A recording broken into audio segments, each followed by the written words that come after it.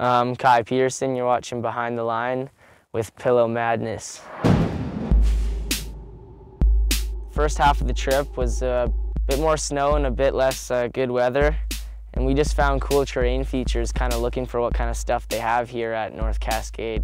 We found lots of cool stuff, lots of pillow drops and little jumps in the trees. Kye's style, he's uh, you know, he's a charger, man. He's you know, pretty fearless. And that's kind of how you are when you're 18.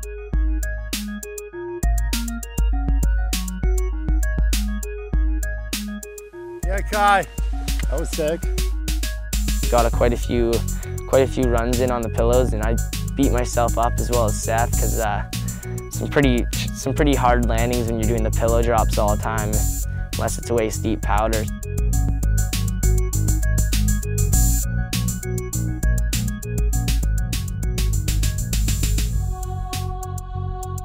Seth's skiing style is pretty cool. He, uh, he gives her. gives her hard and uh, he's not afraid to huck a big cliff when the conditions are right and do sick tricks. So it's pretty cool to be with him. Big influence. Two, one, dropping.